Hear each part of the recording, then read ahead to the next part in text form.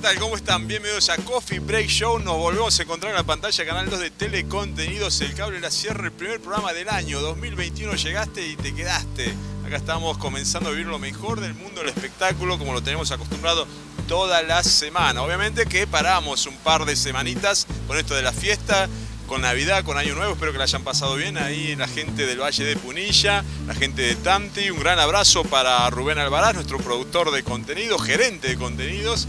Y también para Luke Thunder, un Luke Thunder que vuelve muy renovado el 2021, nuestro productor de imágenes, Luke Thunder Fashion and Winner. ¿eh? Fashion and Winner, Luke Thunder, siempre proponiendo lo mejor de Coffee Break Show. Y comenzamos con el clásico que tenemos acostumbrados ustedes acá en Coffee Break Show, que es las series de los 80, las series televisivas que tanto han impresionado al público general en todo el mundo.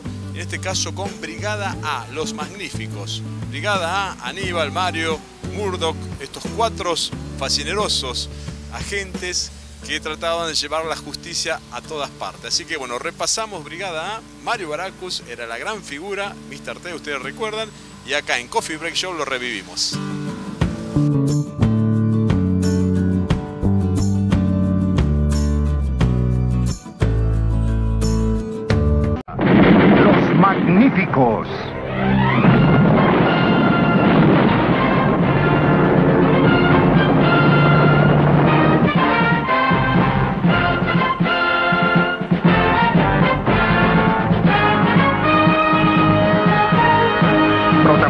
Protagonistas George Pepper como John Aníbal Smith.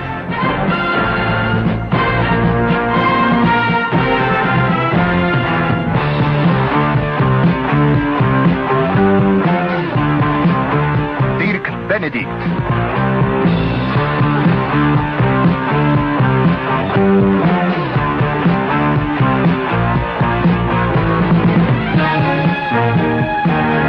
Dwight Schultz.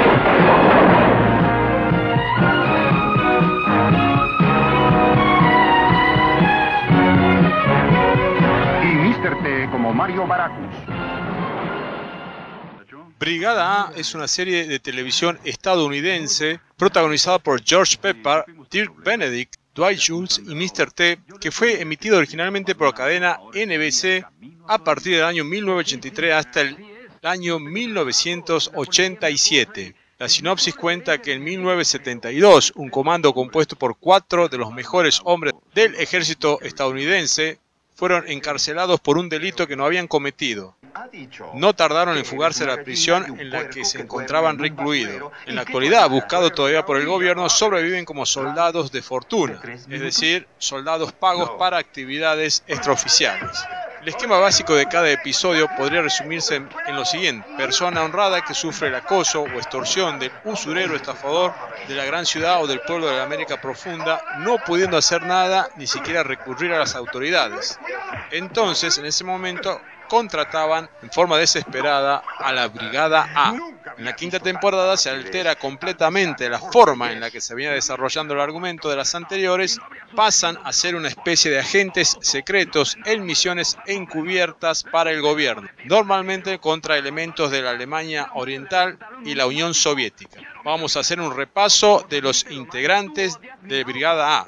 En primer lugar, el coronel John Aníbal Smith, interpretado por George Pepper, es el jefe y cerebro del equipo. Este veterano de la guerra de Vietnam recibe su apodo en honor al famoso general cartaginés. Además, Smith es un destacado estudioso de la guerra, especialista en estrategia y siempre está listo para actuar. Su frase más conocida es, me encanta que los planes salgan bien. Suministro automático nocturno, ¿eh, pequeño? Alguien habrá pagado buen dinero por esto. A menos, claro, que provenga de ese carruaje. Oigan, ni siquiera me han dicho lo que quieren. Respuestas. Queremos respuestas. Por ejemplo, ¿cómo a un hombre tan grande pueden llamarle pequeño? Respóndeme a eso, cara de papa. Yo no sé nada, nada. Sí, sí sabes. Dime, ¿quién se especializa en robar autos de lujo fuera de los restaurantes? No sé, amigo, no es mi negocio. Mario, ayúdame aquí. Ahora, A menos que pienses que tienes algún futuro como albóndiga, te sugiero que empieces a hablar. Están hablando de negocios mayores. Yo no soy tan importante. ¿No es? Está bien. Eh, eh, Es solo un rumor, pero lo he escuchado muchas veces. Ah, dínoslo, somos demasiado chismosos. Cordial. Sam Cordial. Opera descuartizando los autos. El capitán Murdoch, también conocido como el Loco Murdoch, interpretado por Dwight Schultz, se hace pasar por un enfermo mental siendo un experto piloto de aviones de guerra y helicópteros, que realizó misiones en Vietnam y suele discutir con su compañero Baracus. Está internado en un hospital psiquiátrico, pero a la hora de las misiones sus compañeros lo suelen ayudar a escapar. Normalmente es el que rescata al equipo cuando cae en alguna emboscada. Solía vestir con gorra de béisbol, cazadora de aviador de cuero marrón con una cabeza de tigre en el dorso y las zapatillas Converse. Ay, pero Mario, es que típico, típico conflicto masculino del siglo XX. Ambos peleando por objetos inanimados. ¿De qué está hablando este loco, Aníbal? Mario, en algún lugar de este inhospitalario y polarizado mundo, una pequeña planta clama por ayuda, marchitándose, sola. Si queremos recuperarlas, es mejor que actuemos. Tienes razón, esa gente no pierde tiempo. He visto deshacer autos y en 20 minutos quedan arruinados. ¿Y qué pasa? ¿Qué pasa con lo que se queda dentro, eh? No lo digas, no lo digas, no podría oírlo. Lo ponen en el horno y lo cocinan. El teniente Templeton Peck Faceman es un sofisticado sex symbol, amante de la buena vida y costumbres refinadas. Suele quejarse cuando le toca el trabajo manual o no cualificado, siendo el más reacio a meterse en peleas. Se encarga de proveer al equipo de material difícil de conseguir mediante el uso de el timo. Es especialista en asumir identidades falsas. Dispone, al igual que Mario Baracus, de su propio medio de transporte, un impresionante coche deportivo de la marca Corvette. investigado un poco el penal de Strikersville y, francamente, la cantidad de muertes violentas que hay aquí me sugiere que han habido severas anomalías en su programa de rehabilitación. No estoy por discutir mi prisión con un joven penalista universitario que no tiene idea de los problemas que tenemos. Alcaide Bill, voy a decírselo una vez y solo una vez. Me ha enviado el Senado de los Estados Unidos para escribir una tesis de varios penales. Strikersville es uno de ellos. Y debo decirle, señor, que estoy asombrado con lo que he descubierto en este infierno. En los últimos 18 meses ha habido nueve presos que desgraciadamente han muerto, eh, por lo que puedo decir eh, causas misteriosas. El sargento Bosco Albert Baracus, conocido como Mario Baracus, es un experto mecánico y conductor. A pesar de su enorme fuerza y mal carácter, tiene miedo a volar, lo que ocasiona problemas al resto del equipo que tiene que dejarlo inconsciente mediante drogas, golpes o hipnosis para poder viajar en esa forma. No se lleva bien con Murdo, del que desconfía siempre e insta normalmente a trasladarse en aviones para las misiones.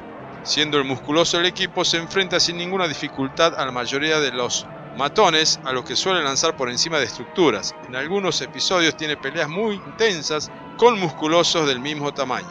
Basurero, ¿y qué tu hermana? De acuerdo, ya oí, ya no hables. ¿Rounds de tres minutos? No.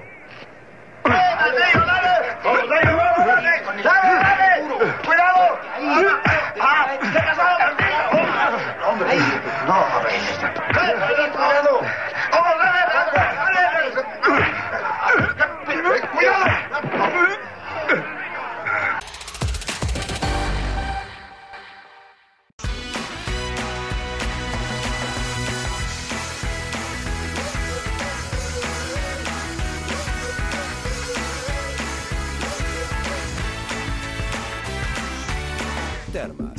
siempre de temporada.